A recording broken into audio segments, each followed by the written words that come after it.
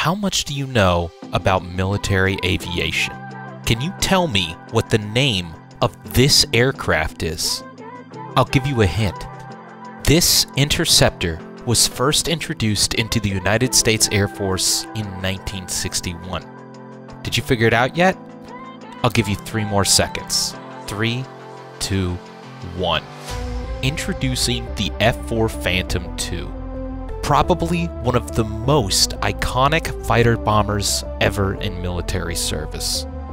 And the craziest thing about this aircraft is that it can carry more than 18,000 pounds of weaponry at a single time, making it the most versatile fighter of the Vietnam War. If you enjoy videos just like this one, make sure you subscribe and check out my full video where I dive in depth about military weapons in video games just like this one.